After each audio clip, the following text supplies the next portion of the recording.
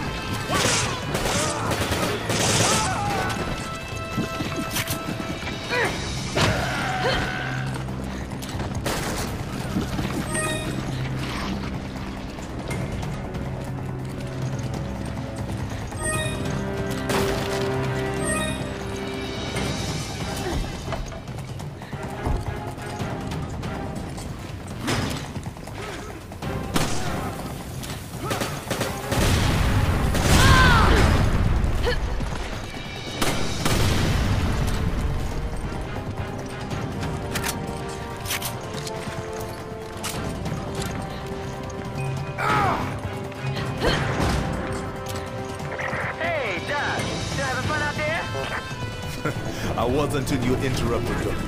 I'm headed to your position, and I'm bringing a lady. I don't remember picking up women being part of missions. Pretty cute. Show some respect. This is Jill Valentine you're talking about.